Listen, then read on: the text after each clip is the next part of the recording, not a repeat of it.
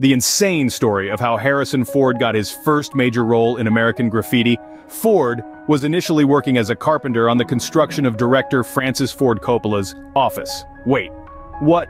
Yes, a carpenter who builds stuff. Working in proximity to Coppola, George Lucas noticed Ford's striking good looks and undeniable charm. Lucas offered Ford his first major acting role in the celebrated American Graffiti, which later led to Ford's involvement in Apocalypse Now. From a skilled carpenter to a genuine movie star. Now that's crazy. This remarkable journey marked the beginning of Ford's amazing career, including his unforgettable portrayals as the legendary Han Solo in Star Wars and the iconic Indiana Jones.